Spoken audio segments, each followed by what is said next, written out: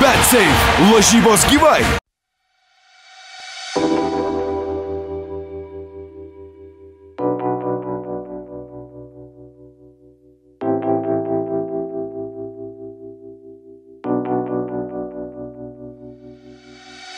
Sezonas buvo neblogas tiek, tiek man, tiek, tiek komandai.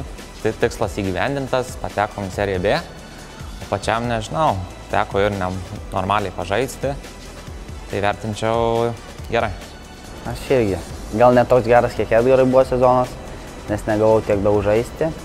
Bet gavau savo šansą, manau, jo pasinaudojau. Kaip Edgaras sakė, įgyvendinam komandos tikslą, pakilti aukštesnę lygą ir emocijos pačios geriausios. Jaučiame trenerių pasitikėjimą, tik tai vienintelis minusas buvo, kad komanda norėjo, kaip ir minusas, kaip ir pliusas, kad komanda norėjo išėti aukštesnę lygą ir treneris labiau pasitikėjo patyrusiais žaidėjais, tai nukentėjo mūsų žaidimo laikas.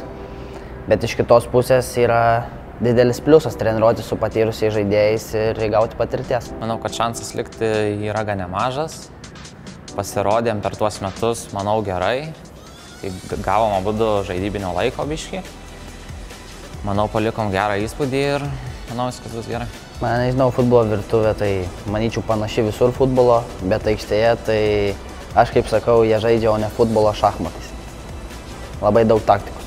Nu, iš pat pradžių, kai išvažiavom, pirmie metai buvo sunkus, nes e, Italijos futbole labai daug taktikos, tai reikėjo apsiprasti prie kitokių žaidybinių schemų. Bet su laiku apsipratom ir, kaip pasakyti, jau kaip žuvis vandenyje, tose taktinėse schemose.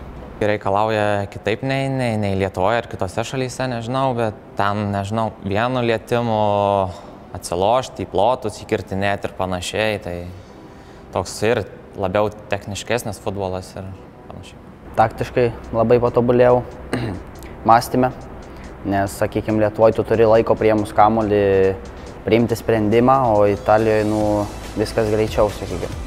Tu turi mažiau laiko priimti sprendimą, tai automatiškai mastai į priekį, prieš gaudamas kamolį, kur duosi perdavimą ar kur bėgsi.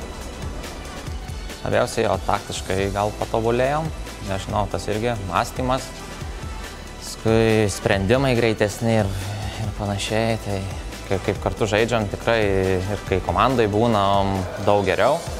Vienas kitą suprantam ir dabar kaip rinktinė esam, manau, kai žaidžiam kartu, tai vienas kitą gerai suprantam ir vienas kitą pažįstam gerai. Sąlygos, manyčiau, kad Lietuvoje yra tikrai neblogos. Italija jaunimo akademijose, tose tik, sakykime, topinėse kaip Juventusas, Roma ir taip toliau, tai sąlygos labai geros. O kitose, sakykime, ten serijos B ar serijos A vidutinėse komandose, tai sąlygos treniruočio aikštynai bazės nėra geros, bet lygis, lygis yra aukštesnis, trenerių kompetencija, tai vien dėl to verta važiuoti. Po pirmų rungtynių nežinau, atrodo, kad pralaimėjome tas rungtynės, turbūt dėl to, kad pirmavome, paskui gavome apmaudų įvartį. Po, po pendelio, tai manyčiau be abejo, kad galime laimėti taurę. Viskas mūsų rankose. Laimėsim prieš Latvijus ir taurė bus mūsų. Pirmas rungtynės jo buvo gan neblogos.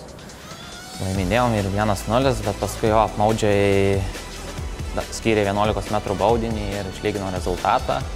Bet manau, kitose varžybose atsigriepsim ir darysim viską, kad laimėtų.